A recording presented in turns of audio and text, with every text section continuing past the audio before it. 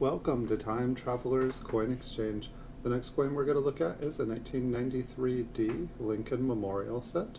This one is a business strike coin from the Denver Mint. It has been graded by PCGS and they graded it Mint State 67 red. We'll take a look at the front of Lincoln, then we'll take a look at the memorial on the reverse. This coin's going to go up for sale on my eBay store. You guys can find it by following the link in the description below the video. It'll take you to this exact coin on eBay.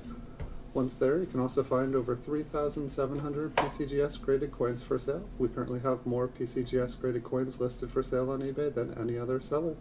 Thanks everyone for watching, have a great week, and see you all in the future.